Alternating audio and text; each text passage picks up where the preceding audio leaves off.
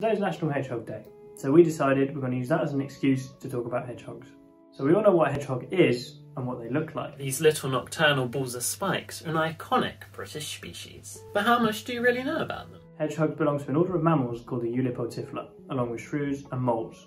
And contrary to what their name might suggest, they have no relation to pigs. Haha, hedgehogs. Nice one, Alex. They have very large home ranges of up to 20 hectares, which is equivalent to about two and a half football pitches.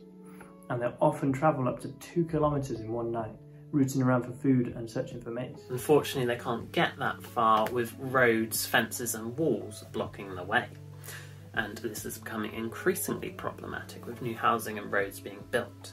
However, you can help by leaving a small gap in your fence and providing a hedgehog house. And don't worry, these guys are fantastic for the garden as they eat snails and slugs and other insects that are going to be eating your plants. Hedgehogs are affected by many different pathogens, including lungworm, coccidiosis, and ringworm. But by far the biggest threat to hedgehogs in the UK is the roads.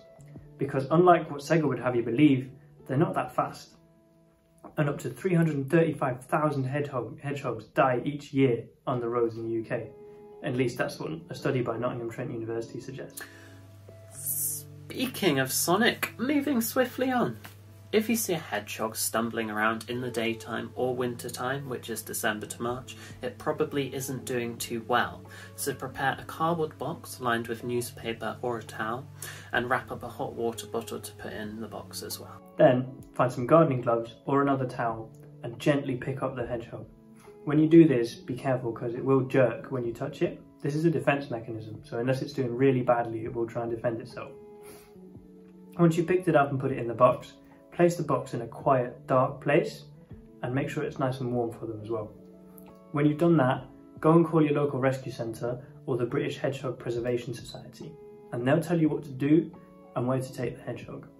If you can't take it anywhere immediately, make sure you put some water and some dog or cat food in with the hedgehog. If you have a garden that you think suitable for a hedgehog, why not contact your local wildlife rescue centre, as they are always looking for new places to release their rehabilitated hedgehogs.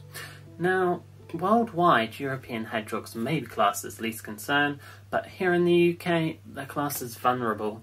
So every little thing we can do to help and every hedgehog saved is really important to help restore this iconic species. Thanks for joining us for today's hedgehog video. If you'd like some more content, check out Earth Code Red on YouTube, Twitter and Instagram, and we will catch you later.